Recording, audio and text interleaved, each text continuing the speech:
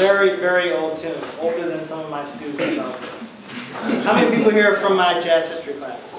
Okay, thank you for coming. Um, and this is called Ultimatum. We'll play this, we'll take a short break, and then we got more music for you. So, thank you. One, two, uh, uh, uh.